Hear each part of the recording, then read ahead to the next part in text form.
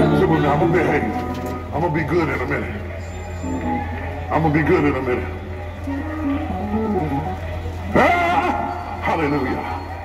Hallelujah. At midnight, Paul and Silas prayed and sang You praises unto God. They sang and prayed unto God. But at first, the prisoners heard them. That's all who heard it. The prisoners heard them. That means they haven't broken through How grandma do the earth realm yet. When they first started singing and praying, you pray, and at first, the only thing you move is other people. A mí ya puedo te amo para So other people start stirring around in the prison. Other people start because you're still in the earth realm. But at some point, at some point, it must have been a point because the Bible said suddenly. Have you ever had a suddenly happen in your life? You didn't even, it, it felt like you was just going through the motion, but suddenly, suddenly, suddenly means you can pinpoint the moment that you penetrated from the earth realm into the spirit realm. And the Bible says that suddenly there was a great earthquake so that the foundations of the prison were shaken and immediately. So we got a suddenly and we got an immediately. If you get a suddenly, then you get an immediately. Once you get the suddenly, you the suddenly brought the earthquake, but the immediately opened up the door. You need a suddenly and an immediately. The suddenly will bring the earthquake, but the immediately will open up the door. Everything that needs a door open up, give him some praise for it immediately.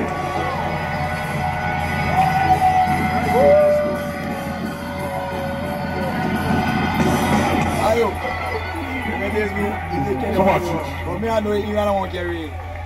So, so, so the, Then I have you pull it so the, the first one they did it, the prisoners heard him. And it had to go beyond the prisoners because the prisoners couldn't have caused the earthquake. So they praised him till he got a suddenly.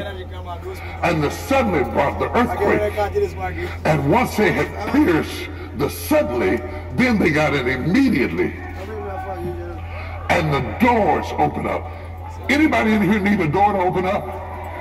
It's in your mouth. It's in your mouth. It's in your mouth. It's in your mouth. It's in your mouth. It's in your mouth. It's in your mouth. The door you need to open is not in the judge's mouth. It's not in the people's mouth. It's not in the governor's mouth. It's in your mouth. It's in your mouth.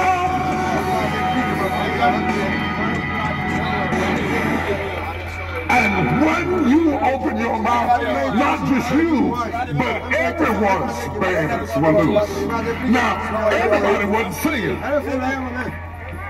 Everybody wasn't singing, but everybody got loose. That's why the devil got you in jail in the first place.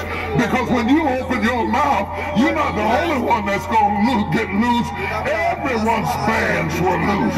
Everyone's bands are loose. And the devil is scared of you because he knows that if you get free and you open up your mouth, everyone's bands are going to be loose. I don't know who your everyone is, but everyone's bands.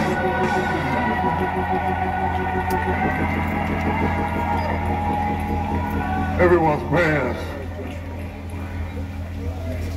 are loose. But it will not happen if you cannot sing in the dark. At midnight, he sang in the dark. At midnight, he sang in the dark.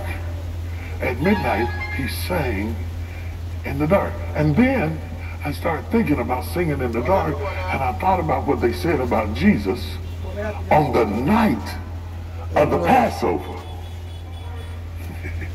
the Bible said that on the night of the Passover, after that they had had the Lord's Supper, the Bible said that they all begin to sing. Now, this is the night before they apprehended Jesus to take him to the cross.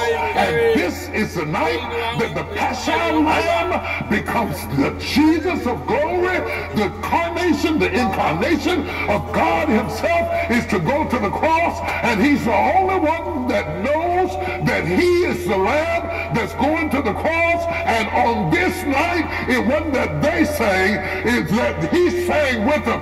The last thing they heard him say in the darkness of the Passover night was he started singing with them. Who can sing on the last free night? You do know that God can sing. The Bible said he sings over us. That God literally sings over us. Jesus that sings on the night they're about to take you. Why would you sing when you know you're about to go to the cross? You already told us in the Garden of Gethsemane that you didn't want to go to the cross. So you're not singing because you're happy about going to the cross. So your emotions are in captivity. They're in Babylon. And yet your discipline says sing. And he sang. And of all things, Psalms 118, he's saying, this is the day that the Lord hath made. We shall rejoice and be glad in it. Now, what kind of craziness is this for this particular day of all days to be the day that you sing Psalm 118? This is the day that the Lord hath made.